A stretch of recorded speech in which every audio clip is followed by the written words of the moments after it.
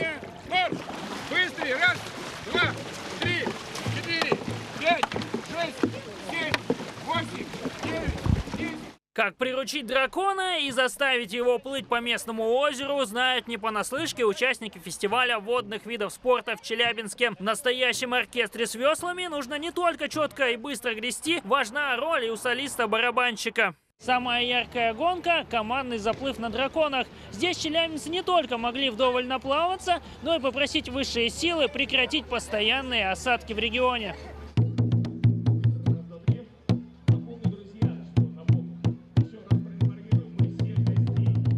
Раскатистый гул барабанов отпугнул суровые южноуральские тучи, и на сцену яркой аквавечеринки выкатили сапсерферы. Продемонстрировать чувство эквилибристики и гармонию с водной стихией могли как новички, так и настоящие мастера. Дмитрий Кочнев стал лучшим на дистанции 200 метров среди профессионалов.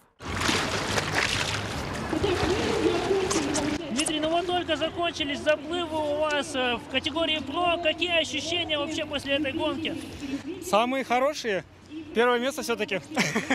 Отличная погода. Самое то для гребли. Посапать на шершнях прикатило около сотни любителей водных баталий. Состязались акварайдеры в двух категориях. Личный зачет на сабборде для спортсменов с 11 лет, спринт и техническая гонка на 2 километра, а также командный заплыв на каноэ. Один из коллективов готов был обрушить настоящее торнадо.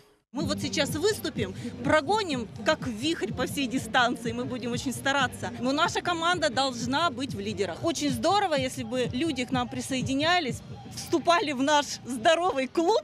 Саббординг с каждым годом все больше прирастает к берегам водоемов Южного Урала. Записаться на тренировки можно бесплатно. Они проходят два раза в неделю, каждую среду и воскресенье, на базе спортшколы номер 11 по гребле на байдарках и каноэ. Василий Ермоленко, Артур Фазлеев, 31 канал.